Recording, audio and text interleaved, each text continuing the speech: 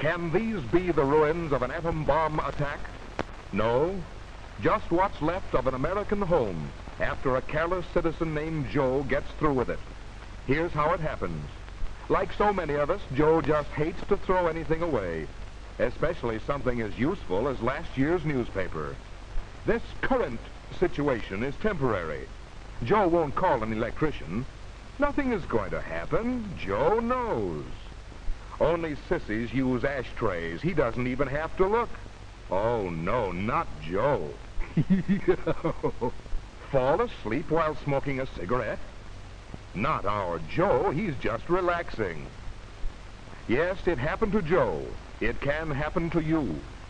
Unless you make every week Fire Prevention Week.